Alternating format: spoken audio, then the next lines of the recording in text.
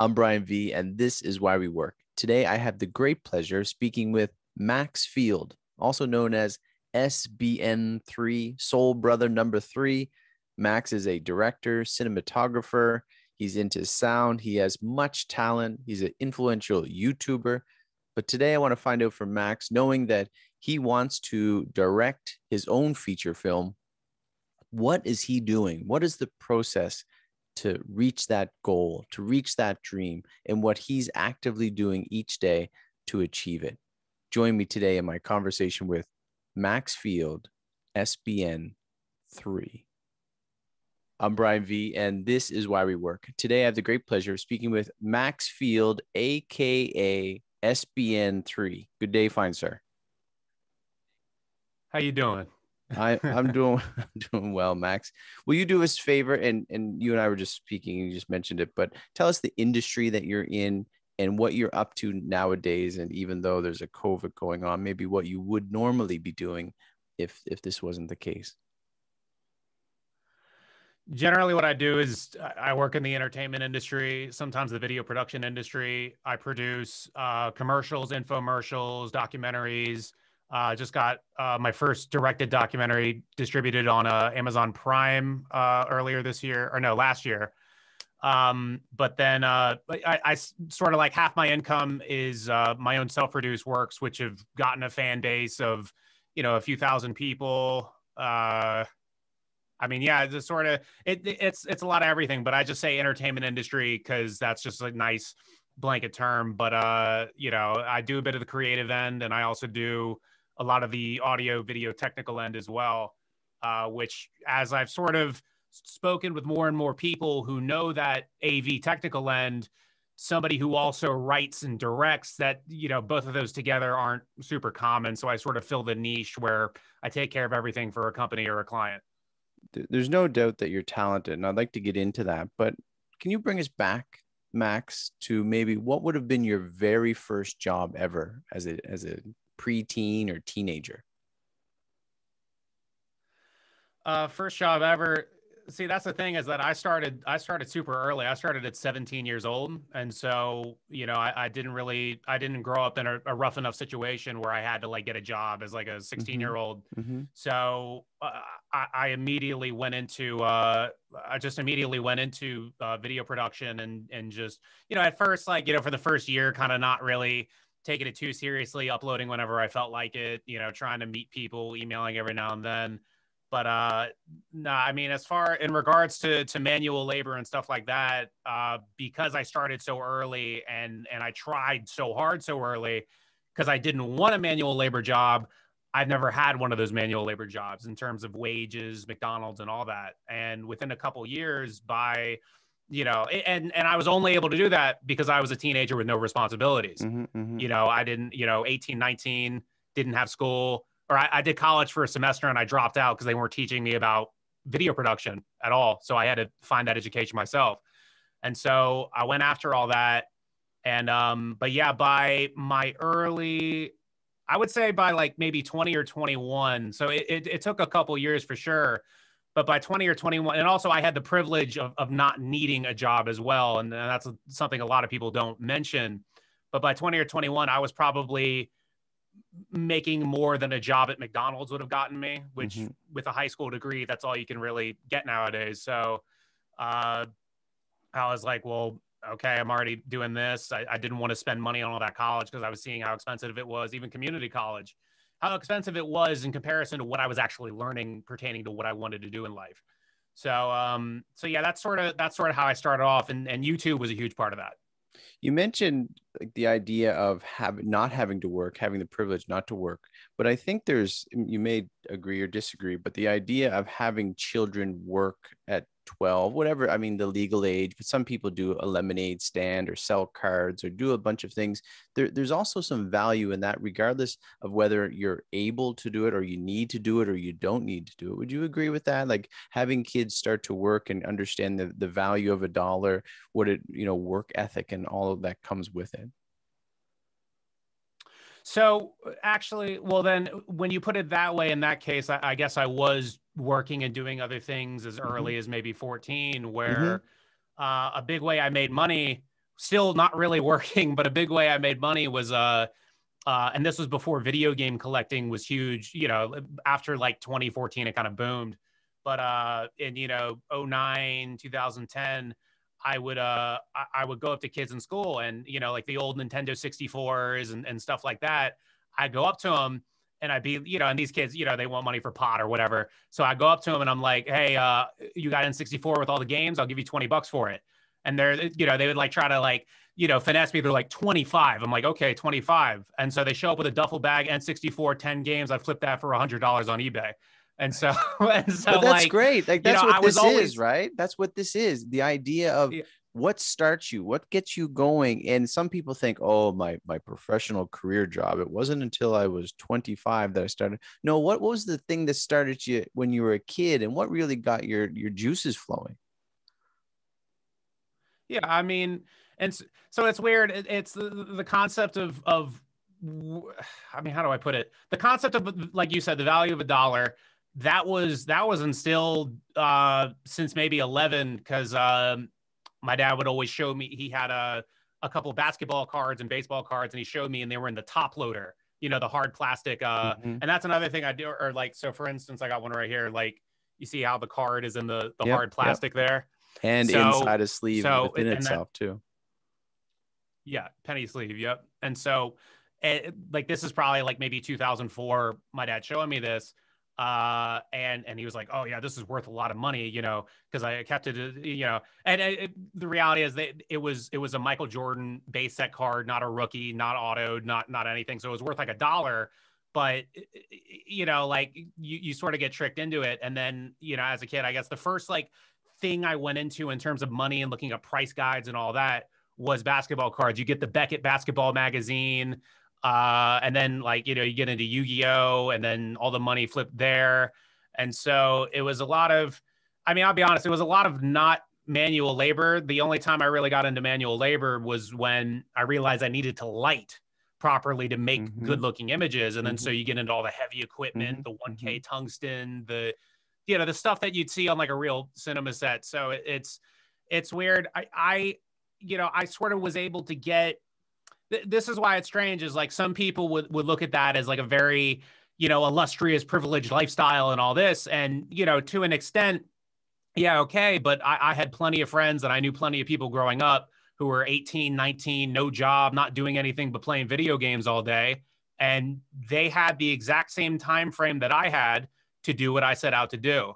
So, you know, it, it's it, it, it could go a million different ways, but uh no, just the concept of of not showing up, not you know waking up, hitting the alarm clock at eight in the morning, and and you know groggling every day to to work or school or whatever. Like I wanted to avoid that so much. I had crippling insomnia, and I missed probably seventy days one year uh, of high school, and then the, the next year it was like you know another 65, 60. and so like I, I of, it's not that I thought I was above a regular job, but I thought I couldn't do it. I thought Mhm. like I didn't have the body to do it because like what job is going to keep a guy who misses 60 days? They're going to fire your ass, you know? So uh, I had to, I had to make a, a living based around, you know, okay, I'll work a lot. Like I was, I was willing to work a lot, but I couldn't control when I would wake up or go to sleep Mm. because of that insomnia. And I couldn't have access to sleeping pills, too young for that. You know, now I can. But uh, you know, it, it's it's stuff like that. Um where, you know, that's sort of how life works. You know, little quirks in your life sort of put you in the path you're on today. there's a i was reading something the other day and it's some sort of path that I, I i think i appreciate the idea of just wondering how the school system works the value in it and what they've been doing compared to what has been done years ago and i was reading someone and he just mentioned the the value in playing which is obvious but it's not always obvious say in a classroom and allowing kids to play and kids get so busy i live here in south korea where even my own children tend to fall on more of the work side of things than it is in play because they have school, then they have after school academies, then they have homework. And then it's like, where do we squeeze in playtime? As a kid, is there some sort of thing that you enjoy doing? Was it just video games? Is it like maybe say seven to, to 12 or something? Was there something that you played at a lot that you really enjoyed, something that you recall? Seven to 12. I mean, I was super into basketball. Um, you know, because because I was one of the taller kids. I'm 6'3 mm-hmm. now. Um, and so I went to a lot of camps. Like every summer, I went to a basketball camp for like about a month. Um, and so yeah, so so basketball idolizing, you know, you know Michael Jordan. I'm, I'm from DC, so so the guy in that icon is Gilbert Arenas, and so that was you know Washington D.C. hasn't had a sports star like that in in 15 years, so that's why I haven't changed it. so because mm-hmm. you know, and, and it, what was special about uh, Gilbert Arenas is that he wasn't drafted and forced to play there; he signed to us. You know, so it, it was like that thing of like, wow, somebody actually chose to be in Washington D.C. because that's where I'm, I'm, from, the D.C. Beltway area, and so and so it was uh it was one of those things where I guess that's where you initially learn about uh, work ethic and practice and stuff like that, maybe, uh, where you see, you know, mm-hmm. the stories of Kobe Bryant. Uh, and and I thought the one silver lining of when Kobe Bryant died in the plane or no, the the helicopter mm-hmm. accident mm-hmm. was Pete would you know the average person outside of a basketball fan would start looking into this guy and how amazing he was and like the level of preparation that went into everything he did. And unfortunately, that didn't really happen. Uh, you know, people still, you know, like the average girl or the average guy who likes video games. Oh, he, he was a good basketball player, whatever. But uh, mm-hmm. you know, so and that's and I think that's what separated me amongst other film people and art people and stuff like that is that in the film and in the arts, they don't talk about you know working back to back 14 hour nights up till 4 a.m. But in sports, they talk about that all the time. Mm. They talk about, you know, grinding your body through this stuff and, and working when sick and, and, you know, working, you know, regardless of the condition. You know, you know, a guy, you know, again, like Kobe Bryant, this is a guy who's, who's having muscle spasms in his back and that would cripple any other person. And he goes out there to play because there's another good player on the other team and is like, oh, it's going to look really bad if I don't, you know, mm-hmm. and, and these guys are partially psychotic. Uh, you know, they're, they're not like all the screws aren't there, but at the same time like that's sometimes being crazy is what like enables you to be great you know like and so one of my fascinations moving on it started with you know you know kobe and jordan and guys like that and then moved on to to penn and teller to um oh my god mm-hmm. to uh to tiger woods to mm. uh let's see who was another one damn this is gonna kill me michael jackson mm-hmm. oh my god michael jackson you know, uh, and moved on to these guys, and you would see a lot of similarities in the preparation they did, in the creative divergence they had.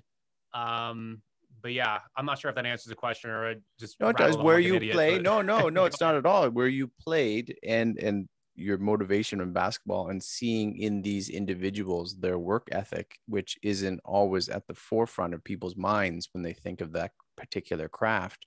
So when you started to get into right audio and video when did you I, I, know you went to college for took a few credits and you realized that wasn't for you when did you realize this was for you and that you were getting some traction was there you got a payday one day was it you got a like on a video how did that transpire for you so it, it, it's weird um well, okay. So, I mean, I was trying to make, because uh, I saw YouTube and I saw that other people were making short films and stuff like that. You know, guys like like Make Me Bad 35, like he's a throwback for anybody who was around back then, but he was like 08 YouTube, you know, and and that's the kind of that's the part of YouTube that I really romanticize. Uh, and so I, you would see these guys make little comedy skits, and so when I was like 13, that's when I first got a YouTube. Summer of 2007, I was you know I was trying to make you know a bunch of shorts with friends and stuff like that and so that was like the initial sort of okay, shooting, editing. You don't care about exposure. You don't care about framing. You don't care about, oh, what's this shot mean? You don't care about, oh, is this script going to pay off later? You're just literally just trying to be funny with a camera. And so it's it's kind of you can make stuff very quick like that. And you know, you're able to just get something out on weekend and it's all good. Um, and then a couple years later, I kind of, you know, I kind of lost interest in it. I would still play around, but I wasn't really doing it as much as I did when I was in middle school and then um, and then one day uh, I was in, I think I was in marketing class, uh, senior year. So so this is what like maybe three or four years later, and they're like, oh, everybody has to do a movie trailer, and so uh, you know, like everyone else, you know, marketing is is like a, kind of a big slack off class. Like nobody really cares. And so uh, everyone's like, oh, I don't know. And I, there's something in me. I was like, okay, well, I'll, I'll do it because no one else is gonna fucking do it. So the uh, so I, I do it. We, we shoot it. I go home. I take and edit it because I had like real editing software because, you know, back in middle school.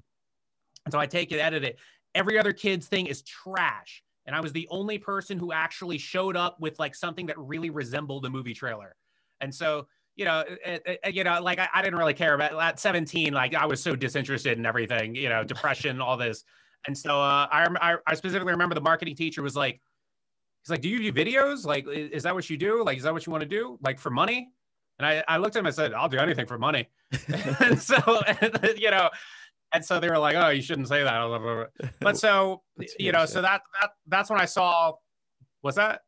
But but you mean they're saying you shouldn't say that, but but seriously, I will. Do whatever. Yeah, no, but uh, but no.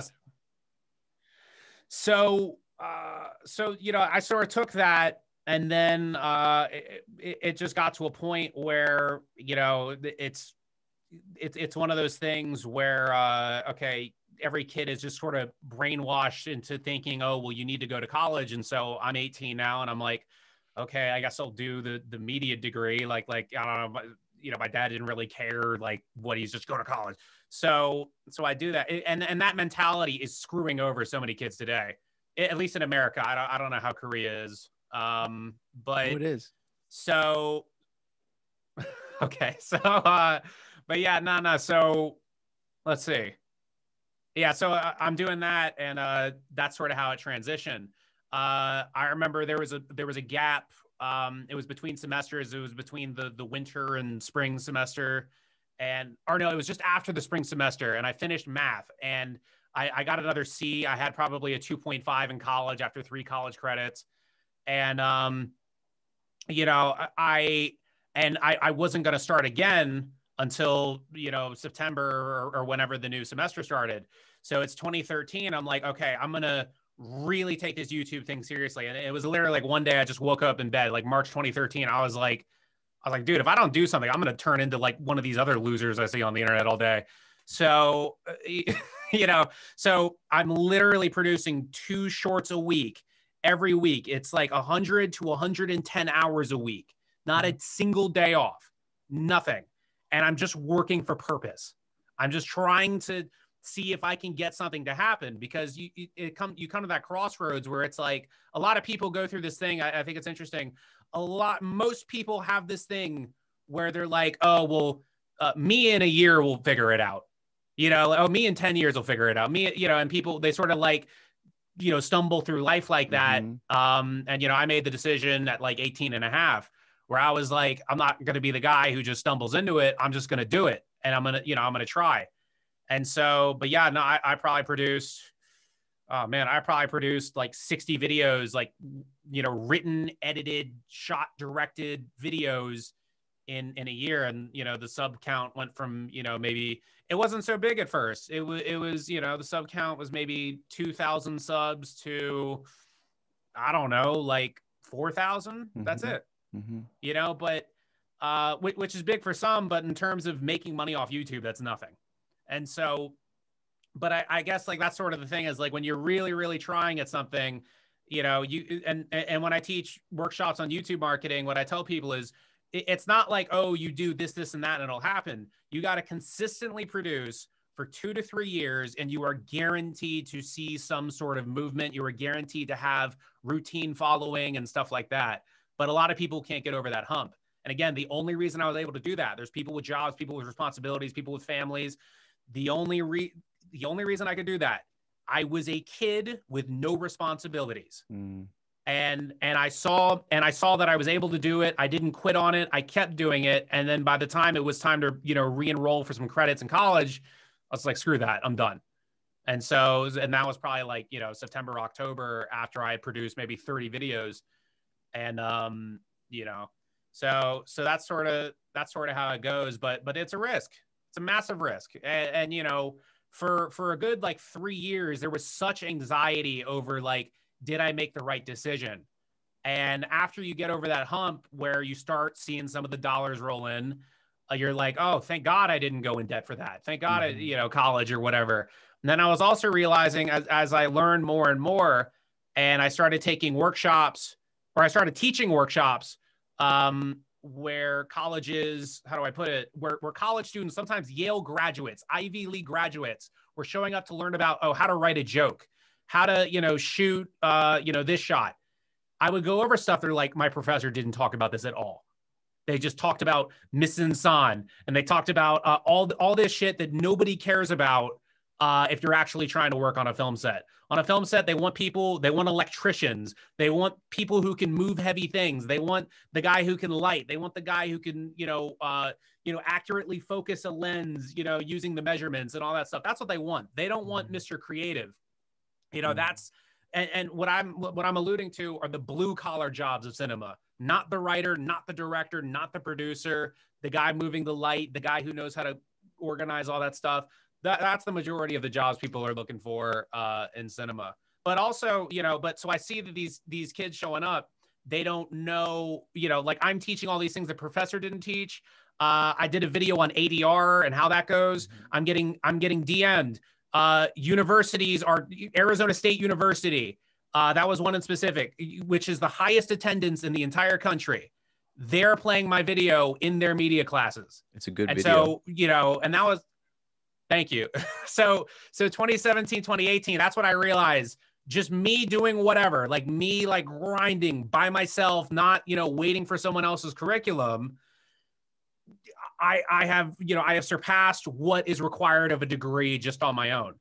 But that happened because of the, of constant insecurity. That happened because you know even now like like or, or or you're like oh you're an expert i still i still don't think i'm an expert because you always have to surround yourself with people way better than you or else you're never going to get better you know that's kind of how it goes well i said this to you before we started you speak so clearly and listening to that the the video that you just mentioned and any of your other ones you on there you sound like a wise old man right? Just bring in truth to people that is applicable to this industry, right? And if people are not in the industry, you may not be interested, but you may enjoy your movies, which you're funny, right? You're writing this stuff as well. You, you, you like you have this ability to write, to speak, to present, and obviously with your editing and all that goes in behind the scenes as you as you mentioned about a basketball player or singers or whatever there's a lot of work that you put into it. So you are and and for you to be what are you 26 20 26 right? To be 26 eh, like i said to you a while ago i'm an I was an idiot. I still am an idiot, but I was an idiot at 26. And for you to be thinking, like, I got to put in this time because I don't have this responsibility, I don't have those things to do. And I'm going to do this now while I can, right? Like, there is a saying, I think, you know, put in while the, I don't know, the, it's not raining or whatever it is. What, what I say is, what I say is, uh, if you don't do it now, it'll never happen. That's what I say. And that works. I like it right? And that's what you're doing. And yeah. so i commend you for what you're doing. And so i heard you say that your your dream your goal you may not have used dream or goal but your aspiration is to direct your own feature film. Would that be accurate? Uh, to an extent and I, I do it here and there in little bits. Like i'm producing a, a, a video game right now that's the length of two feature films um but still not you know it's not that shooting you know it's not you know it's it's not what i want to do which is you know like the classic american film like i want to make you know i want to make the next not even like not even like citizen kane like not like i'm not really into that stuff like i'm into like josie and the pussycats that came out in 2001 I love that movie. You know, I, I like not another teen movie. Like I, I liked I liked all this stuff that was on Comedy Central that everyone said, oh yeah, it sucks. But me and my friends, we watch it. we're like, dude, this is great. You know, like, um, and you know, like you know, like Kevin Smith movies and Spike Lee mm-hmm. movies. You know, stuff like that. Like that's sort of the stuff I'm into. So um, what does um, this look like and, for uh, you? Yeah. What does this look like for you to be where you are now, and and to be young, to you know, you're you're exercising, you're working out on the side, you're doing all that you need to do to gain that experience, to, to gain the knowledge. You say you're not an expert, but you're you're striving to be. What does that process look like for you to get to the opportunity to direct your own feature film? And what are you doing to attain that? Uh, talking with an investor in Singapore right now. Uh, I might get some good money to do an animated pilot. Um, doing animations okay. because I sure as hell we, we there's no way we can get the money together to do a live action pilot because that's just oh god, that's too much money and too much organizing and hotels and all that. But uh, you know, it, through doing that work, it you know it it got my talents out there, and so you would meet people who would meet you through the YouTube. One time, I did an animated pilot for someone that paid you know a couple thousand dollars. They put it up uh, wherever they were trying to shop at the Netflix. Um, you know, uh, but the reality is is that uh, every everybody needs a big break. Everybody needs a lucky break. You know that that's just kind of how it goes. And um, I, I, you're you're waiting for that one right connection. You know, you have a network of people. If one of them gets a TV deal, I know that they're going to call me to do audio. I know that they're going to call mm-hmm. me to write jokes. They might call me to act. You know, and so that's a big thing. Like creating this this tightly woven web of people um, you know, to, to see, you know, okay, if one of us take off, we're all going to take off. Mm-hmm. And, um, you know, it, it's sort of, but, but yeah, I mean, the reality is, is that unless, unless someone comes through and, and, you know, gives a blank check or someone comes through and says, Hey, I spotted this and I want to put you on. Unless somebody says that, I, I am never going to be the star people think this work ethic would lead to. Um, and that's that's the unfortunate reality um and so like i'm first generation entertainment i don't i didn't have a single connection in any of this when i started mm-hmm. and so uh you know so that's that's kind of the thing I, I, nepotism has only worked for me one time uh and that was doing an infomercial where i was underpaid uh to go all the way up to new hampshire to uh you know do an infomercial for uh, uh an uncle's uh, geology company. And, but that's you know that that's that, that's pretty much the only time nepotism's really worked for me and so uh, you know you, you kind of develop a thing against second generation entertainment people. You know you see people talk about how talented billie eilish is or whoever. And i'm like dude like her her whole family is in the music industry. I could have easily done that. You know i dude if you know if if my dad was howard stern i would have been the next howard stern. You know like that's just that's just kind of how it goes. Um and so, but no, but you really respect the the first generation entertainment people. You really respect a Kevin Smith who maxed out three credit cards to get 27,000 to produce his first feature. You know, I'm that game I mentioned earlier, I'm probably, you know, 10, 12,000 in the hole for that. And uh, you know, I'm I'm just trying to make it happen. But uh, you know, you got to be you got to be smart with money. You know, you can't you can't waste it on, you know, a new car, you can't waste it on, you know, anything. There was a while, I mean, I buy a lot of memorabilia and stuff like that as you might have seen in some of the videos um, but there was there was a three year stretch where I barely spent any money. I didn't buy new mm-hmm. clothes. Mm-hmm. I didn't buy anything for leisure at all. Uh, and and I didn't I didn't start you know spending anything until I was making you know you know not well into the five figures let's say. And so um, you know but but that's just but that's the unfortunate thing that that everybody has to know going into it is that you you know your talent might lead to a connection but you got to understand you're not going to pop off like like a superstar you're not going to pop off until the machine is behind you. Yeah and a lot of your videos you have things that have personal meaning to you that other people would not really understand unless they knew you better. I see you have kfc chicken in there a lot. Is is this a personal KFC, fave? uh, is i saw it with your your fred and barney the bucket. Oh no, I mean that was just the thing. I mean, I I I prefer Popeyes more. Uh, I, I, heard Popeyes. I love Popeyes. Have you ever tried Korean chicken? Oh. Do you have that? Not in your area. Never will. If, I'm if sorry. You... oh no no no! Korean fried chicken chicken is delicious. Just so you know, they they do a I hot have, sauce. oh, it's delicious. I am a very lower middle class American raised sort of kid. Uh, my palate is very American uh, the only East Asian food I can eat is Sarku Japan in the food court. That is it's... all I can do. I'm sorry. I know. Korean chicken, Korean chicken. They, they kind of stole the idea from North America. So it's not it's not like Asian chicken. It's like spicy, crispy, and I think it gives a good run for the money to any other chicken place, in my personal opinion. Do you have a script that you if someone offers you one day, maybe maybe give it a try. It's it's delicious. Believe me, I I've lived in Korea for 11 years.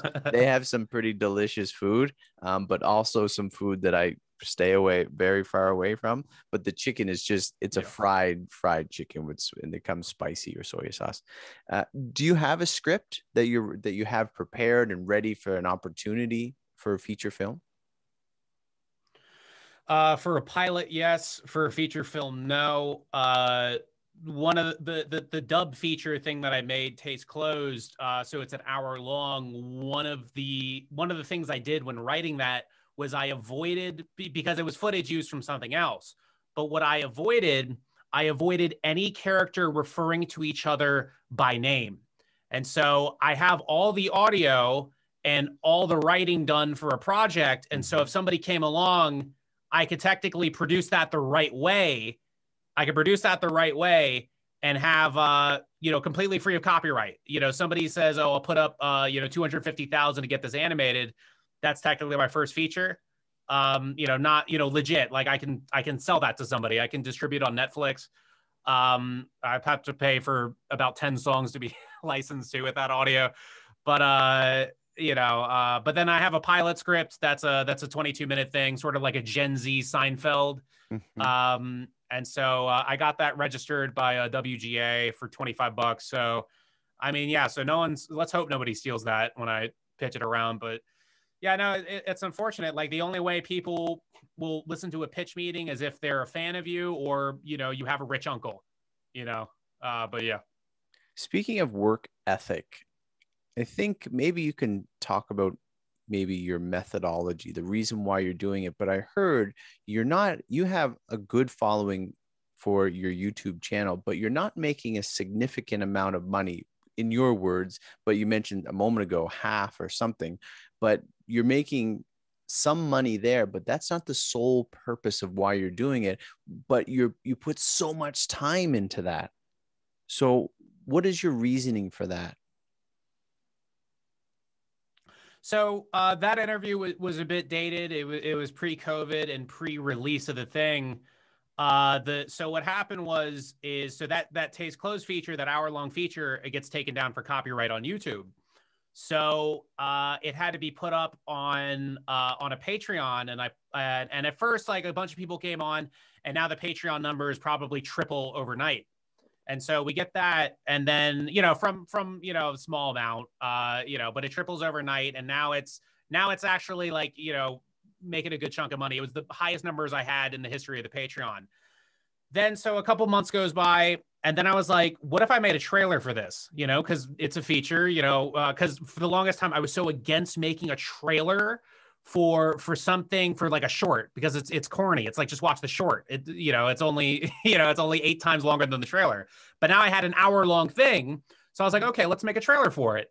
And I put that trailer out and what went from tripling so it was tripled then it tripled again and now it's making like some you know passable money mm-hmm. and so so that's why i said half now is because now it's changed the mm-hmm. vhs tapes uh because because we had two features we produced physical vhs tapes uh and uh, initially, people would get those for thirty bucks. Can you explain uh, for, for thirty bucks when they would back? Can you explain your reasoning for the VHS tapes as well?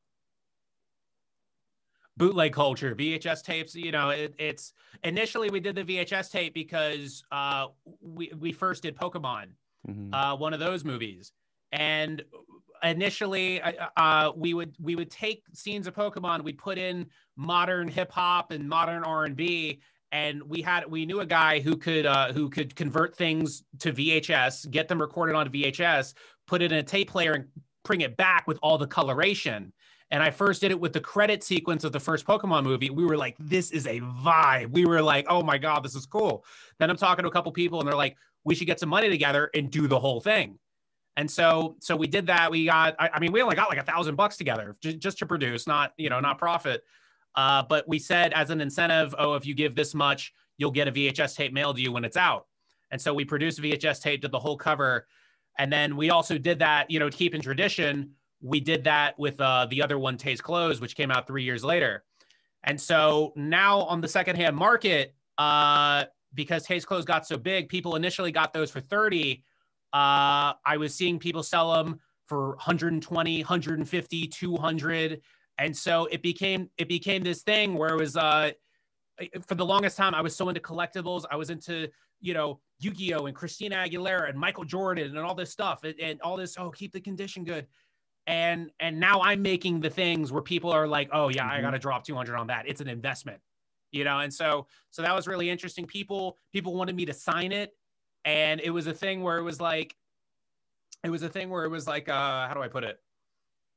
I, I never practiced my signature as a kid. You know, I, I knew all these kids in school who would practice their signature. And I'm like, you are a pretentious asshole. What are you doing? Nobody wants that.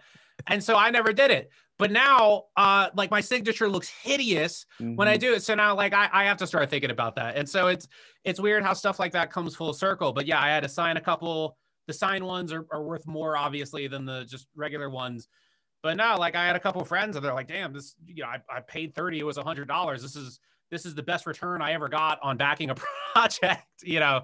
So um, but yeah, uh I don't well, that's what I liked. Well, no, that's what I liked about what you said and what was true for you is from YouTube itself, you weren't making as much money as you were with your, say, blue collar job or working in the lights and, and editing and all the other work that you were doing, which, but you were still putting in the effort, which I, I thought that was analogous uh, to people who want to follow a dream, want to follow something, they want to do something, and they might have to put in that time and not get see that return right away. And for you, it seemed like you were getting your name out there. There was a there was a purpose behind it. It wasn't I'm not going to make money and I'm happy with that, but you were getting your your product out there. But at the same time, you were getting exposure. And I just the idea of people putting in that effort, even though they may not see the fruits of their labor right away. Yeah, that's a hump a lot of people can't get over creatively, and it, it, it's kind of sad. Uh, you know, it, it's you know, you have to work. A lot of people, you got to work for free and cheap sometimes, you know, especially for your own stuff. And, and, you know, people, I see so many people just talk themselves out of it constantly. And it's just like, okay, well, I guess you don't want to do it then. Like, you know, it's not like, oh, we lost a great talent. It's like, no, like you got to have, if you're going to be a great talent, you got to have that mentality of like, I'm going to work, you know, I'm going to work for it. It was a business day one for me. A lot of people stumble into it. A lot of people just make something randomly. Oh, it's a viral thing. You know, I had made so many hours of content before stuff I was doing was getting clipped out, going viral, Instagram, Facebook, all that stuff. It was it was a multi-year process. And uh, you know, uh the 76ers had a trust the process where they're tanking and everything's going horribly and they're not winning, but they're trying to get those draft picks. And now they're like a really good team because they trusted the process. Same thing with this. You got to trust the process. You have to you have to be, you know, working like it's the most important thing in the world if you want it to be the most important thing in the world, regardless of who's watching, regardless of who's seeing it. And so uh, that that's the thing a lot of people don't see. Um, you know, even people with production budgets, you run into some lucky stuff. Like I'll explain to other people who are trying to do music stuff or whatever. I'm like, you got to upload three mixtapes a year, dude. Three which is you know about maybe 40 songs. Even that you know i i saw there was a there was a there was a hip-hop artist uh named xv and uh he he was really big in the, the you know the late 2000s early 2010s he had a project called 40 days 40 nights where he uploaded two songs a day every day for 40 days. And so i saw that at like 18 i'm like well damn i gotta try to do something like that. Mm-hmm and so uh, you know, it, it, it's stuff like that. And uh, but yeah. What what is your your hand in music? I, I went on Sound uh, SoundCloud and um, some of that music is great. I mean, all that I heard was great. What what is your hand in that? Are you writing? You're producing? Uh, well, I mean, sometimes you, you know, hip hop, you're gonna take some beats a couple times. Some stuff I produce myself. Uh, in terms of just the instrumental, some stuff uh, a friend will show up. A lot of it is pretty much sampling. Uh, it it depends on the track, but uh, but as far as recording and writing and mixing, doing the final mix and master, that's all me. You're multi-talented. Do you have any advice for people thinking of you buying games for from kids for 20, 25 bucks when you're in middle school? Uh, or even changing your job, right? When you got a, little older, you're you're changing positions, doing different jobs. Do you have any advice for people who are getting into work? one way or another, their first job or their second job? No. I mean, I mean, uh, what, uh, sorry. I, I mean, no, maybe reword it. Sorry. I'm a, I'm a little. No, it's, okay. that's good. No, I don't have any advice. Go, go get a job if you want. I mean, again, I mean, uh, you know, there are a lot of people. Uh, again, I I need to reiterate this. It, it's not. I didn't waste my privilege. That that's the way I look at it. It's not like I came from absolutely nothing and oh, I pulled myself up by bootstraps. Like I can't. That's that's not honest. Like I can't project this reality that like oh, I was working two jobs and I did YouTube on the side, but you know I was awake you know tw- you know uh, twenty hours a day. I can't I don't want to sell anyone that fantasy. You know, there there are people where you know you know they're they're I don't know they're they're in a poverty situation and they have to work two jobs since they're 16 they have to drop out of high school if someone's in that situation they probably can't do what i did you know and so uh, that's what i but at the same time like i know so many rich kids who you know just screw around all the time you know and then they hit you up like you know 10 years later after high school oh bro how'd you do that you know and, and, and it's like it's like, dude, you wasted your privilege. Your parents had more money than mine, mm-hmm. you know? And so that's kind of the thing. Like, like I, I saw and recognized the, the, the opportunity and the privilege at a very young age. I recognized a lot of things at a very young age. When I was, uh, mm-hmm. when I was 14 or 15, I realized I'm never going to see any of these kids in high school again. I will after graduation, I will never see these kids. So all I did was screw with people for the last three years of high school because I knew it wouldn't matter. That's None funny. of it would matter. Not, it still has it still hasn't come back to me. And so I, I, I was I was always sort of uh you know like it, it, it's whatever. Like you got to you got to see stuff before everybody else does. Same with the video game stuff. You know, I was doing that in 2010, collecting video games and flipping them. You know, N64 stuff that didn't become a concept until you know like a widespread concept until maybe 2013 14 once remember the 90s and all that stuff started happening you mentioned that you're not an expert but what is a skill that you are working on to help you become the director that you hope to be and also what sort of skill is absolutely necessary in the entertainment industry that you've seen so far there's a lot of skills necessary. Um, uh, to to to rail off a couple, um, communication is key. Uh, adaptability and just like the, the work ethic to block out pain and block out annoyance and block out this and that. Uh, persistence. Uh, one thing I heard was emotional. Oh, self empathy. That was another thing I heard in terms of even if something isn't so good, you can't beat yourself. You have to have short term memory loss of all mm-hmm. the bad stuff, and you got to keep going. Um, and then, but the thing is, what's unique about me is there are a lot of guys who are, you know, writer director people. Uh, it it's it's hard to find a writer director guy who knows more about the technical end of cinema than me. And that's sort of that's where I was able to separate myself and really, you know, and, and be able to make, you know, high quality content and be able to teach others is because I just wanted to learn all of filmmaking. Like, so you want to be a director, you know, it's not just, oh, I'm going to learn how to, you know, write and direct and like think up scenes and all that. I learned every part of the process. So another part is like never thinking you're above learning something, never thinking, you know, so I wanted to learn how do they do audio. I, I wanted to learn, um, what kind of lights are they using? Not even how do i light something? What kind of lights are they using? That was impossible to figure out you know five years ago because there wasn't like a million youtube videos on it. You know how to uh or not five years ago, I'd say more like seven years ago. Mm-hmm. But like you know, there there was a million. Uh, I was trying to figure out what light stands do they use? What's the real stuff? How do we get overhead lights? What's a speed rail? What's um you know oh you know what are sandbags for? Uh, Apple box. How do we get you know a camera angle low? How do how do they get the camera to move so smoothly? How do they uh you know like oh how do they make that that light right here someone might ask how does he get the light to look like that you know like just just all this stuff and a lot of it is uh it's kind of like mock apprenticeship where um I got to a knowing how to find the information yourself. I'd say that's another big skill. Um but in terms of what I'm trying to figure out uh I don't know.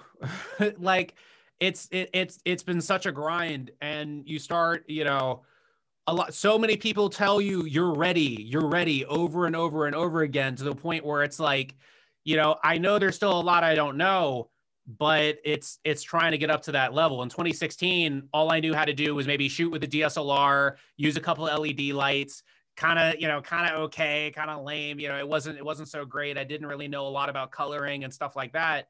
And I, I hit a wall where i would try to hit up people who were in film school hey do you know this? They didn't know it uh, you know what cameras are they using? You know what what is what is hollywood all this stuff? And then i joined a, a cinematography forum that had people who made movies i had actually heard of. Think about that. Think of how many people say they're in film. Oh you anything oh no.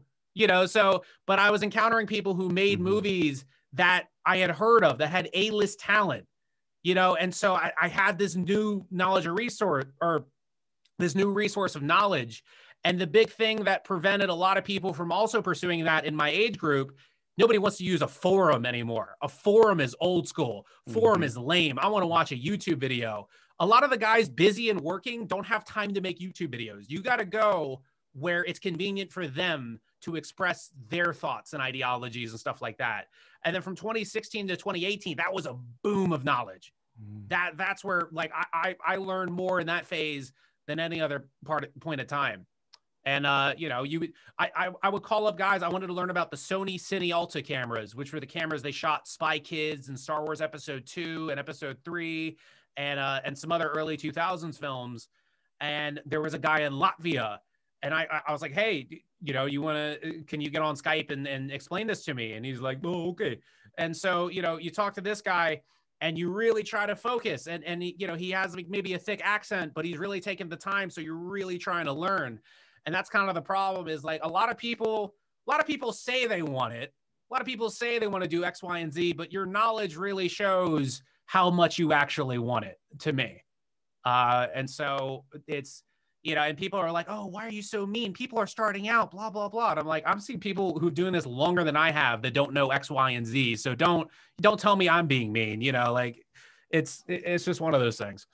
Is that and I'm not saying you seem like this is for you, but patience is it patience for you something that you need to work on because you're young and people are even though people are telling you you're ready but you're not given that chance yet is is patience one of those things that are kind of gnawing at you?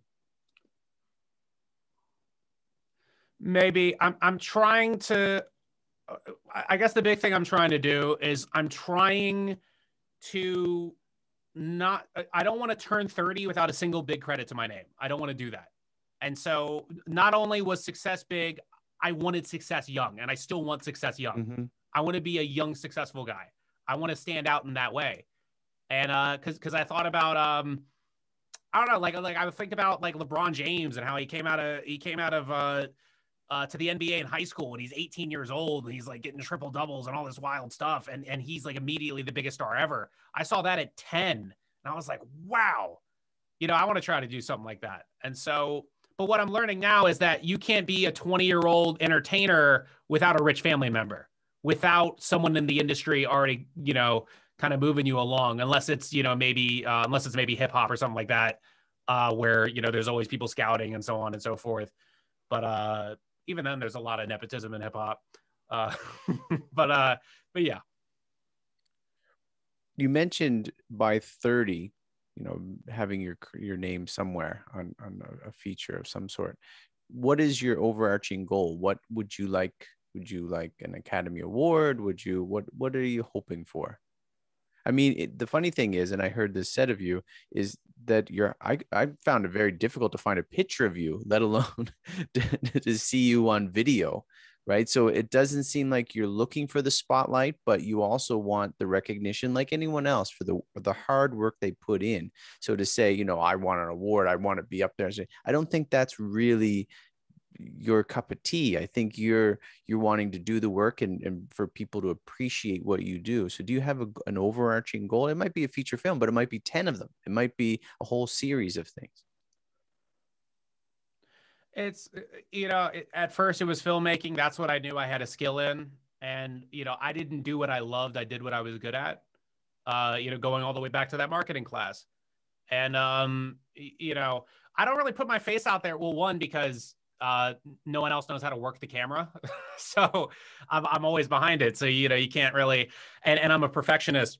I always have to be in the viewfinder. I need to know what's happening at all times. You know, like I'll make videos where I'm on camera for my friends and the framing's kind of bad, but you know, that's not going out public, so it's fine.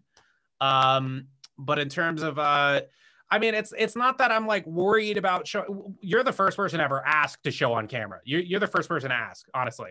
So, so that's why I showed up. Sorry you about know, that. And, and so like, nah, it's okay. Blur my face out. Anyway, so so there's that. Um, but what I would say is, let's see, the overarching goal. I mean, like, I don't. I, this is sort of another part of the reason I don't put my face on camera. and I don't take selfies and all that. Like I have a very low sense of vanity. Like I don't think I'm this like attractive guy. I think that people should only, you know, not to put a slight on anybody, but like I only think people like you got to be really photogenic to always put yourself on camera. That's just me. I'm not trying to project that onto anyone else. Mm-hmm. Um, you know, like so so so you work, you know, you work like you work with a couple models and uh, it's like, yeah, well, that's your job. You're supposed to be on camera. I'm not supposed to be on camera. You know, it's like that separation.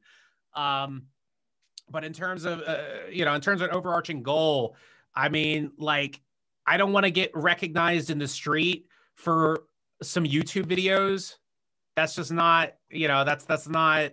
It's lame. It's like, oh, hey, you did this niche thing, and everyone's around. Like, what the hell is he talking about? You know, like, like if I'm gonna be if I'm gonna, if people are gonna come up to me, I want it to be for something that's like actually, oh, Netflix, oh, Fox, oh, ABC, you know, something for real, not like you know a dinky YouTube video with like a hundred thousand hits. You know, th- that's that's whatever to me.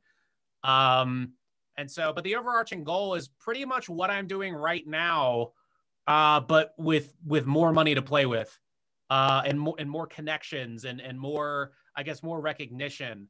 Um, you know, I, I, as time goes on, I realize how rare it is to be a multimedia artist and actually get money doing it.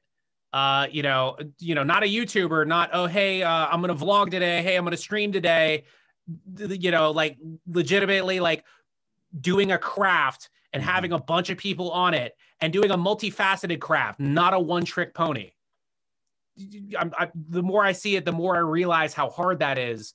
Um you know and it, it's always just come naturally to me. I, have always wanted to do everything but the reason why i put so much stuff out there i don't know what's going to pop off.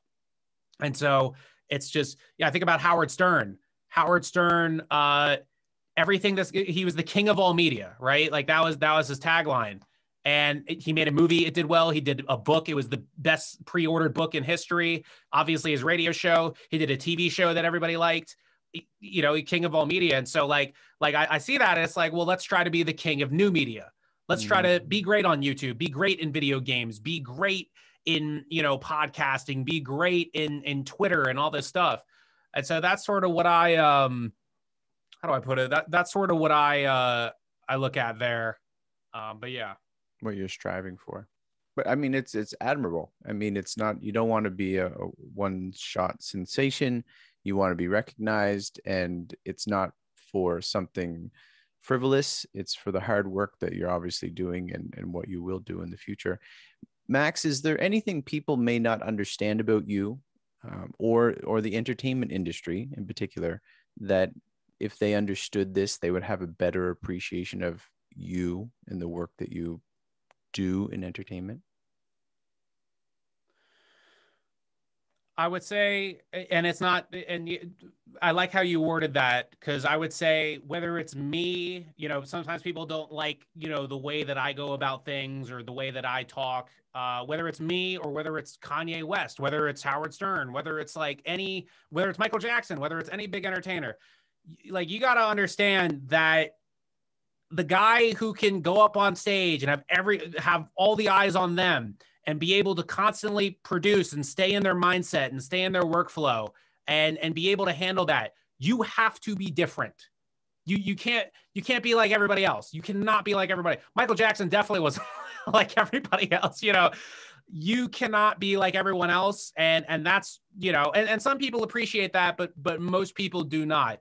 Most people don't you know like that's that's what sort of annoys me and, and sort of I, I, get into little uh, people say i'm very competitive for for a no good reason with certain things, but they're like, you know, you know, I'll say like like, dude, I work in entertainment. Like, I'm, I'm kind of like this. And some people roll their eyes, like, oh, yeah. And it's like, I mean, you could do that if I only had like two viewers a video and nobody cared who the hell I was. Like, a lot of people care who I am, you know, and, you know, it wasn't like that when I first started. And a lot of people can't see the light at the end of the tunnel. And so it's just one of those things. Um, you got to accept that entertainers are going to be different and entertainers are I should say successful entertainers, maybe somebody who's seen some success, seen some money, some recognition.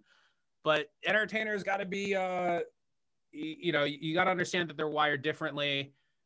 And um, oh, there was another thing with that. Damn, hold on, sorry, having a bad day. no, no. Well, I'm dragging you on too. No, it's it's as you think about it, just it's right right like even an athlete has to be different like people that are doing these particular industries no matter what job it is right if you're talking about the garbage man if you're talking about the president of the united states these people are doing these jobs are different than most other people because most other people aren't doing those particular jobs and is no different than it is for the entertainment industry uh, it might be a little different from, well from it's it's different I mean, like, makeup of who that person is and what they're doing, but the individual skills and talents, uh, the personality, whatever goes in, only certain, not everyone can do this job or that job. It doesn't matter what job it is, is there's different skill sets that don't match other people's and for other people to understand it you would have to have an appreciation that they are suited for that particular job. The more you refine it and define it it's there's there's sharp contrast in with these different industries but not everyone can do these jobs. And for what you're doing not everyone can do what you can do and to right. appreciate what you do is is what you're asking because you're there to entertain too right? You look at athletes as well. It's you're there to entertain. It's like comedy. I've, I've gained a, a great appreciation of comedy because comedians are going up there to make you laugh.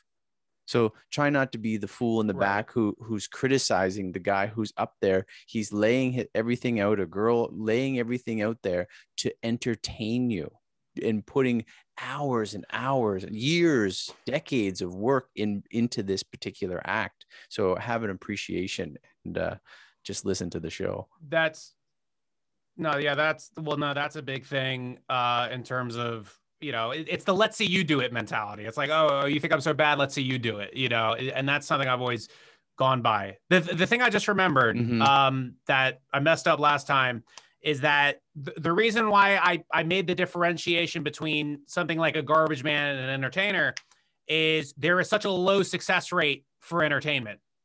And so I, would say the big thing that people got to understand when when like it, you know an entertainer tweets about something it's like oh wow that's weird that's different. You know oh well well you're not considering numbers and statistics and all this stuff. And it's like you got to think there was less than a 1% chance that I would do this so mm. if you're that person who managed to beat those odds other statistics don't like they mean less to you you know what I mean and so if, if it you know it's like oh well oh there's only a, 20% chance that a lot of people are telling me uh, with the game i'm producing now oh there's only a 20% chance that this will take off less than a 5% chance and i'm like there was less than a 1% chance that that you know 50,000 60,000 people would would would look at what i do mm-hmm. you know it, you think about you think about kanye west where it's like you know 10 different record labels turned him down then the first album he gets it's a huge hit and he's like a big star now and like you know 0405 and so you got to think like, like I don't when Kanye West goes off on on some thing, some wild tangent.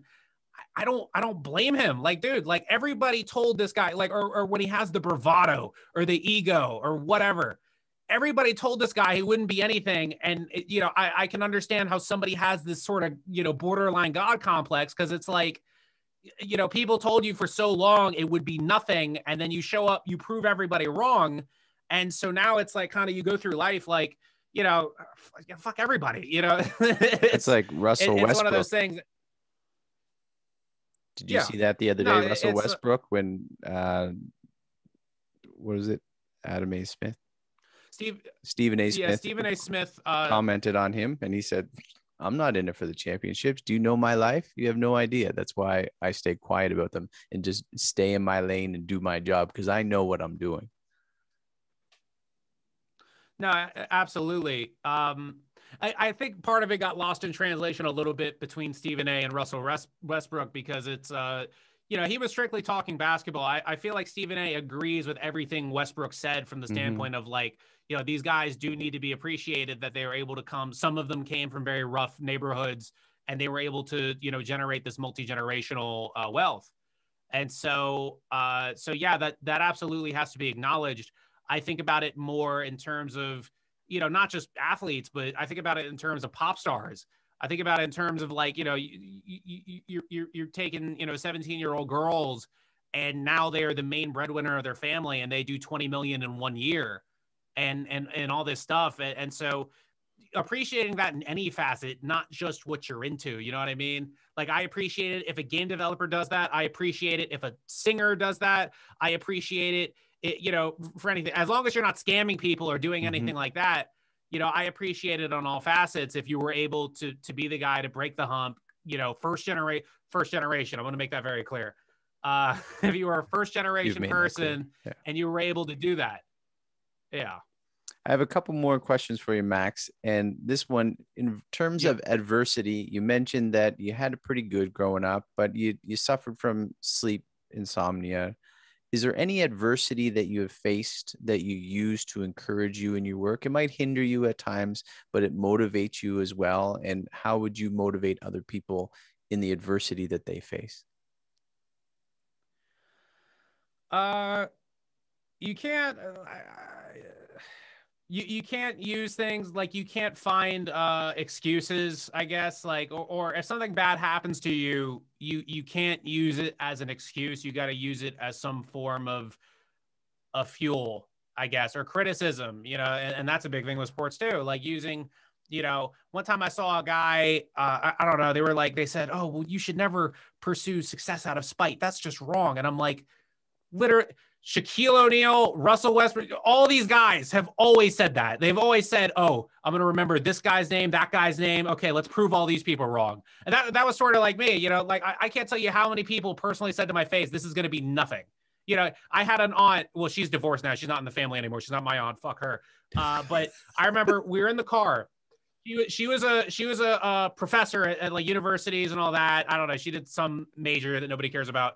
And so she stops me in the car and she's like, oh hey uh, max i got a great idea. Uh you know because she knew i was trying to do the video thing and it was you know it was i don't know it was maybe a couple months into my youtube tear. And she's like i have a great idea. What if you got a computer science degree and you do the video thing for fun? And i looked at her i said i don't want to be a computer scientist. I'm not some nerd. Screw that. You know like it was you know not not to say no I, I think computer science is important uh, mm-hmm. uh, programming and all that. I think that's very important but you know it just wasn't for me. That, that's the point and so, you know, and, and so it, it's stuff like that. Uh, the, the writing on the wall. Oh, they tell me, oh, well, uh, well, my family member. Oh my God, it was it was so many things. They would talk to some random producer. This is the other thing. College's meaning has entirely evaporated from what it was in 1981 um and so it's uh it's this thing where oh well uh, i was talking to this this producer and this is going to go back into the adversity thing you said uh, but they'll be like, oh, I was talking to this uh, producer who produced nothing you've ever heard of. And uh, hey, um, she said that the four-year experience for a filmmaker is very important in college, and and da da da da da, uh, because it gives you, it makes you well-rounded, it gives you life experience and and all this stuff. And it's like, dude, I saw like, I, I can't tell you how much life experience you have just like just watching a homeless guy smoke crack that dude that is like a world of what the hell is going on. You know you know on you know a, mo- a couple months ago i was on uh, i was on the new york city subway and uh, there was a homeless woman just pissing on the train. Dude that is more experience than any college will ever give you. For real like like that, that that is it. And so you know the well-rounded thing like i get it. I get why they say it okay, you got to experience a lot of arts, you got to develop yourself. And they think that college is going to curate that for you. That's what she meant by that. And that's what I know now. But I was able to curate that for myself. Maybe other people aren't. And so the thing with adversity, especially with comedy, because we were talking about comedy earlier, is that all the weird shit that happens to you, you know that's that's where a lot of your jokes are going to come from your brain has to be broken to be funny you have to be you have to be so like mashed in the head with awful experiences and wild things. Dude the police showed up to my house at least 10 times when i was growing up over some domestic dispute. I, I saw so much crazy shit you know? And so it was a i remember one time i was 12 years old down the street the cul-de-sac playing with a friend and um his cousin shows up. He's like, "Oh yeah, my cousin's in a MS-13." It's this guy like covered in tattoos, and you know, like I'm like 12 years old, I'm like this doughy 12 year old kid. I'm like, "Oh, I hope I don't do too well. He might get mad at me and shoot me." You know, like like all this stuff, you know. And um, it was uh, like I saw a lot of stuff growing up, and a lot of people who try to pursue the arts, who came from you know middle class to upper middle class neighborhood, they didn't see any wild stuff. And and you know, to to your point with adversity, adversity uh, seeing that wild stuff, let's say that's the adversity, uh, that's what really fuels you. You know, mm. that's what's going to, you know, make your creative juices work. Um, and so, you know, but that's that's just kind of don't use them as that's excuses. what I've seen. Yeah. Like, like I don't. Yeah, don't use it excuses. You know, use it use it as fuel. The reality is, like, I can't think of a single funny comedian who didn't have a, a, an insane, weird you know, effed up childhood. I, I, I can't think of one because I look at all these guys' stories. It was something strange. It was something where they're experiencing the world different from other people. You know, you know, all this stuff. You know, like I, had a one time I put a poll on Twitter that was uh when you were a kid, uh, did child protective services show up to your house more than twice? 90% of people said no. I was like, damn, that happened like four times for me. What the hell? You know, so it, it's it's it's all this stuff but you know we're in this we're we're definitely in this twitter instagram self-psychology era where we tell we tell ourselves oh if bad things happen to your childhood you're helpless. Oh you're helpless. You can't do that and it's like dude that's so soft especially you know not to get too racial but like you know like like i you know i talk to you know i'll say like it is i talk to a lot of white kids from really nice neighborhoods and these are the saddest people i know. These are the saddest most un uh, ambitious people that I meet, you know, kids, I don't know how older generations are, mm-hmm. but like these Gen Zers, and they're like, oh well, well, I read a I read a post on Instagram that said because this happened to me, uh, I have I have BPD and depression and blah blah blah, and so I can't, blah, blah, blah. you know, it, it's like we we we're in this era for Gen Zers of like self-diagnosing your problems and and finding confirmation bias for why you're a quitter, and and that's what I that's what I hate. That's what I absolutely hate, and it, it's you know and that's what i see. Like i have a diverse audience and and that's what you see. Like when i um you know when i go on a stream and i say i'm trying to be a millionaire you know the white kids are like oh that's weird. He's arrogant. He's this and that. The the, the black and mexican kids are like yeah me too. Yeah and so it's yeah. you start with less you pursue more. Yeah. start with less pursue more. So um but yeah that that's sort of how i've seen it broken down well, it's funny because I think a lot of people would say that they're seeing that sort of occurrence with younger people, but hearing you at 26, I think there's a, a, there is a glimmer of hope for our future, knowing that not all kids are thinking like that. Not that you're a kid at 26, but being young enough to realize and having your hand not too far away from your teens and almost into your 30s, knowing you have a really good perspective on life is what I believe. Thank you. Therapists would disagree, but you know that's how he, he, likes. That's you. another thing is that therapists. I, I mean, I mean, no. Well, no. See, it's interesting because uh, a couple years ago, I was getting really into psychology, and I was trying to talk to not therapists, psychologists, mm-hmm. and I was trying to talk to them. You know, people that I knew through university connections, and I would try to talk to them about motivating other people because that's huge. You think about Michael Jordan. The thing they said is he made everyone around them better. Mm-hmm. So what mm-hmm. I was trying to learn is, you know, it might seem a tad manipulative, but I was trying to see how do I manage talent? How do I get people to do the right thing for them and do the right thing for the greater good of the group? You know, and uh and and you look into a lot of that, but on and so I would say some theories, sometimes they confirm them, sometimes they deny them. Like I talk to, you know, professors to verify like i don't talk out of my ass like i, I go to people and talk and ask before i say things publicly mm-hmm. and uh one time I made the mistake before I got the, the psychologist connection. I just talked to a therapist and I was like, hey, I'll give you 50 bucks.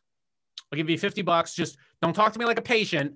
just I'm, I have these questions about how the human mind works. Talk to me immediately. They're in their playbook. Oh, how does that make you feel? I'm like, I'm asking you, like, you, you know, like, like it, mm-hmm. it, it's that whole thing where it's like, it's like, dude, like don't talk like and i knew what she was doing you know but uh one one thing a guy said to me was remember therapists aren't doctors. Therapists are not scientists. So that was a big thing. But no but no this lady uh yeah she was trying to say oh oh there's this this and this wrong with you. Uh you know um there was a we had a big disagreement on what makes a human being matter. And and she's like oh so so you work so hard. Why? I'm like i work hard because that's what you have to do like you, you have to work. We've been working since the beginning of time. And, and, and uh, like I say to her, I'm like some, some guy who, you know, just like lives off his parents' money, you know, sits in a bed all day playing video games, consuming, consuming, consuming, consuming, not doing anything, not impacting anyone else's life. Like, I'm sorry, explain to me how he matters. Explain to me, you know? And, and so, because it's like, I'm busting my ass here trying to do this. You're trying to tell me that this guy's on the same level of me. Like, sorry. Like, and that's where the competitive sort of, you know, thing comes out. And a lot of people consider that screwed up, but I'm just like, like, dude, like I'm busting my ass and you're going to tell me, oh, yeah, he's just as good as you. No, sorry. Like, that's not how it works to me anyway. Um, and so, yeah. I think as you will make a good director because that's what like a manager, right? Is am I wrong in uh, kind of understanding what a director does? Would that be similar to a business manager of sorts? So a manager, okay. So, so and I tried management. I, I, I attempted management, but it was hard to find people because at the end of the day, when you're a manager, you work for them. Mm-hmm. When you're a director, they work for you. That's kind of the core uh, difference there. And so, you know, when you're a director, they're only there for a project. For a manager, you're there for their whole career. And so I, you know, I could have all the great advice and all that. But no, at the end of the day, you know, there are similar skills. Absolutely. You, you, you'd be right. Um, but sort of um, with the management thing, and again, that's that's why I said the suburban kids. You know, you'd find, you know, you'd find a girl who gets likes and she's inconsistent and all this stuff. And I'm like, dude, I could I, I could get you to quit your day job in 18 months if you listen to everything I say, and you could you could be a model or an actor or whatever. I know that you have everything that you need just just give me 18 months. But they never do it because mm. they have a mm. safety net. They have their parents. They have you know they have uh you know boyfriends letting them live rent free they have you know you know all this stuff. And so sometimes uh sometimes that'll get in the way. Uh a director is kind of uh being a director it's more intense in the moment but once you're done you're done. With a manager it's less intense in the moment but it's just a consistent sort of grind Mm. Um, that's sort of how I've seen it. And and when it comes to a manager, you have to convince, you know, you have to convince what's in their best interest. For a director, you're just trying to get the shot done. You know, you're just trying to get the project done. So it's I I, I, I could talk about it more in detail if you like. It well, it's what I like about what you're saying that you do is you're trying to help people be the best that they can be, and so that they and it's not you don't feel threatened by that. You don't feel like they're trying to take over your position. You're trying to help them strive where they are. Uh, it's because I know they won't take over my position. um, it, it, it's it's sort of you know like so, some people would say, oh, that's very very arrogant, all this stuff, but it it's just look, I, I've met I've met thousands of people all trying to you know do this, do that, whatever, and it gets to a point where okay, I am different okay, there is something that sets me apart. And and you know, a lot of people a lot of people are really scared to verbalize it to themselves because they're afraid of the criticism that mm comes with that. I, I, I don't really care um, because you know if I know that I'm busting my ass, that's all that matters. If I know that I'm working as hard as I possibly could, that's all that matters. And so, uh, you know, it becomes a thing where, and again, like I'm not it's it's really hard to find multi-talented people. Like when i'm hiring people like i don't know how to program. It's really hard to find a programmer who's who just you know it has problem solving ability and will consistently show up. That's really hard to find. It's really hard to find an artist who can do a certain art style and can show up for a decent amount of money and and bang out 100 drawings. You know like stuff like this like and so and so what i you know, I do I do sound design, I do I do writing, I do you know all this stuff that you know sort of gives me a footing where if I'm doing enough jobs, I can just pretty much say, okay, I'm the director too. Uh, I just don't meet people that can do multiple things, and it's it's like a thing where, and you know, the, the big thing is, oh well, why are some people more successful than you? Because they have connections, and so, so would you say it's one of those things would you say yes. that those people don't exist or those people exist, but they're not willing to put in that work at all? They, they have those raw talents, they have those skills, they can program, they can draw, but they're not willing to sit down. I was watching a drawing video yesterday with my son, and, and the guy's just like, just draw, keep drawing, keep doodling, keep doing. You got to keep doing it. And there's people are just not willing to put that work and you uh, what i appreciate about you about you is the work ethic that you have. I think that's the, the core of what what drives you is your willingness to work and not all people have that. Most people don't have the level yeah no kidding. some people do it for survival. Some people will work to survive but they don't have that level to succeed and to excel. A lot of people don't have I, guess sort like entrepreneurial mindsets i guess where where a lot of people don't like that it's all on them. It's all on their shoulders. People you know people really shy away from that. And um you know it, it's people are too afraid of criticism in the moment especially if they have friends who, with big followings where they're making good stuff you know they don't want to try. To to your question on do those people not exist i mean uh, those people exist those I get like I said those people are are Howard Stern. Those people mm. are Kanye West. Those people are are Jamie Foxx. Those people are um you know Penn and Teller. Like that's who those people are. We we see these people all the time. Um and and are there other people who are multi-talented really good that haven't been discovered yet? Yes absolutely. I'm just not running into them. Mm. I'm not saying that I know the world but in my network of people, I haven't ran into that yet. Um, you know, to say that that I am I am the greatest talent ever, you know, like again, I I think there are plenty of people who are more talented. We're not getting another Michael Jackson for another 150 years. I guarantee you, I am not the next Michael Jackson. You know, you know, and again, he was multi-talented, but like you take out dancing and maybe mm-hmm. it's it's sound design or something like that, you know. And so it's uh I wasn't insanely talented. Like I, I the only things that I showed any talent for was I you know I could be funny. I could keep a room going for like 30 minutes and I you know I could sort of like I knew how to you know edit and you know direct a scene. Those are the only two skills that I had going for me.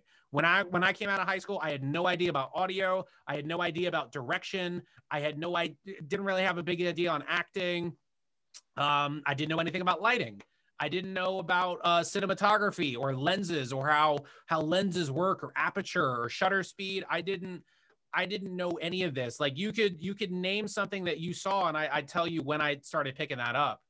Um, you know, it's the majority of what I do, what people follow me for, was not stuff that I knew out of the gate. So, mm. you know, in terms of in terms of latent talent and what brought that out, the work brought that out. Grind. I, I, I'm I'm I'm I'm against.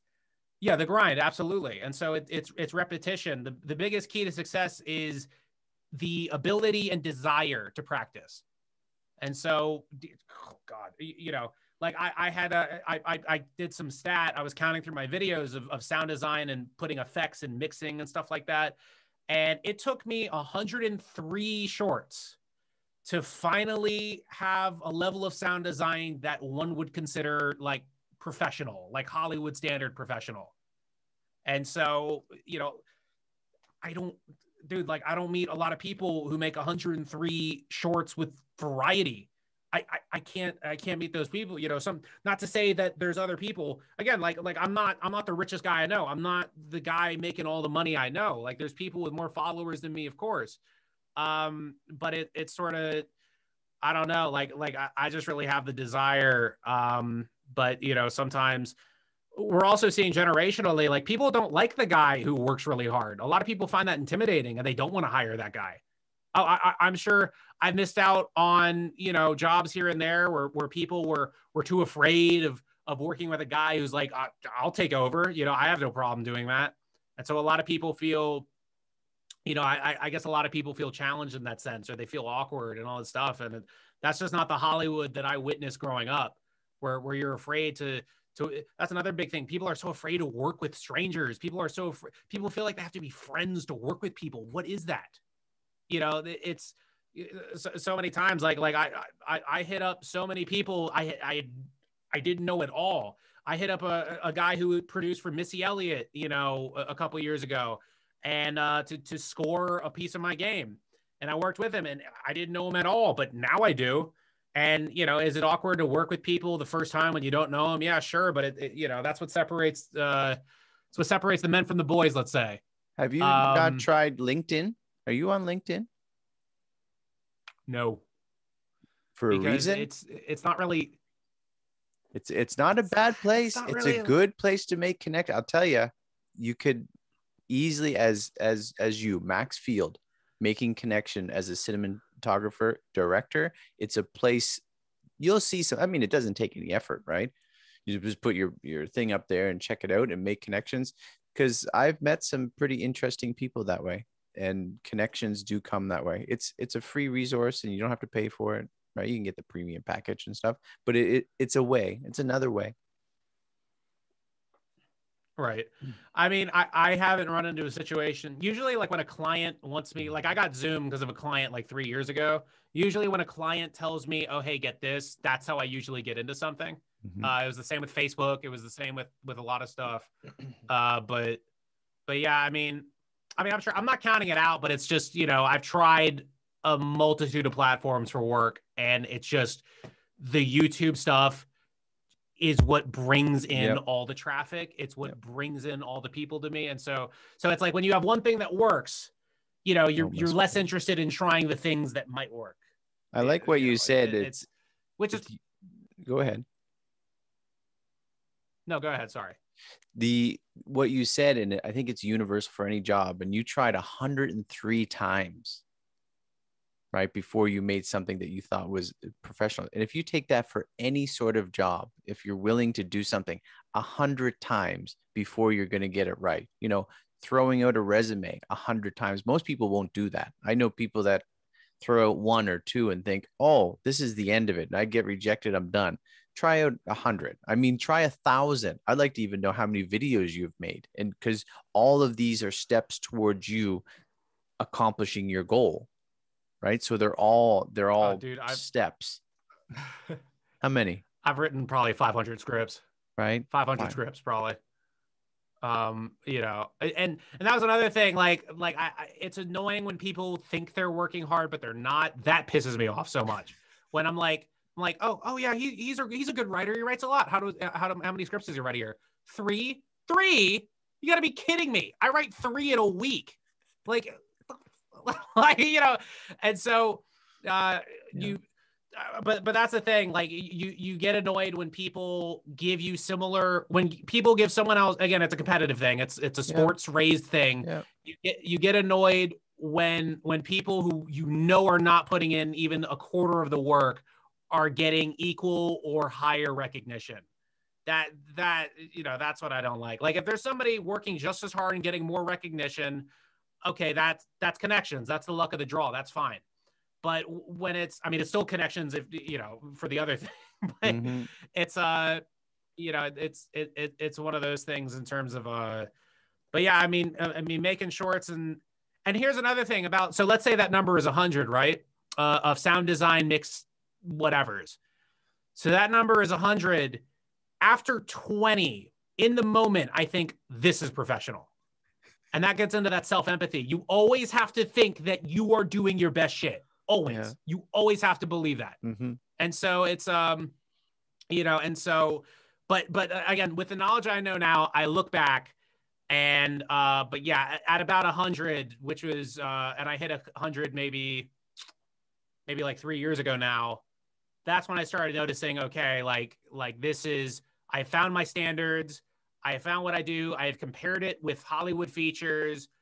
This is this is this is where I sit. And that's another thing. Like people people I was always holding myself to the standard of Hollywood movies that I grew up watching. Mm. That's what I held myself to the standard of. And a lot of people would hold themselves to, "Oh, I just want to be okay." you know, or, or, or uh, what's it called? Aim for the stars, land on the clouds, that sort of saying. I guess that's the kind of philosophy, but you know, it, it is what it is. Max, how can people reach you? How can they get in touch with you? Besides LinkedIn, obviously. Uh, let's see. Uh, uh SBN3 on Twitter. SBN3 on Twitter. SBN3 on YouTube. The Where did that come on from? Instagram. What? SBN3.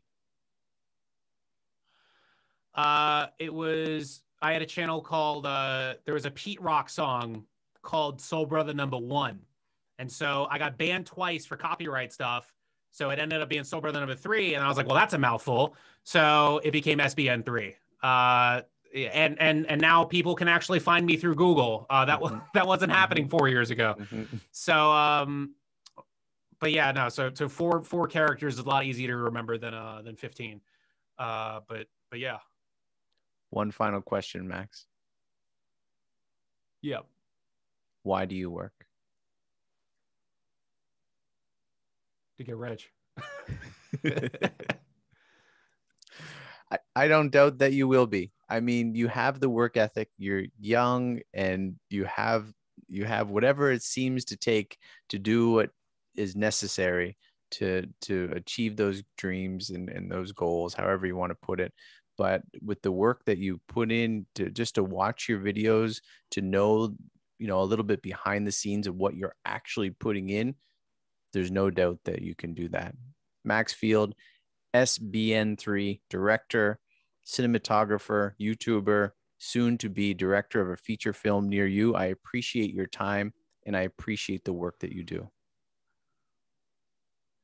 Thank you. Hopefully, uh, an agent sees the same way. Thank you to Max Field for coming on, also known as SBN3. Find him. You can find him on YouTube in particular. And as he mentioned, some other places on Twitter and Instagram. Find me on Twitter, Instagram, YouTube here. You can click the notification, subscribe, share, and uh, you can find my podcast on Apple, uh, Spotify, Google, any of those, Stitcher. If you would like to be a guest or you know someone who would make a good guest, email me at whyweworkbrianvee at gmail.com. Why we work, Brian Vee V E E at gmail.com. I'm Brian Vee, and this is why we work.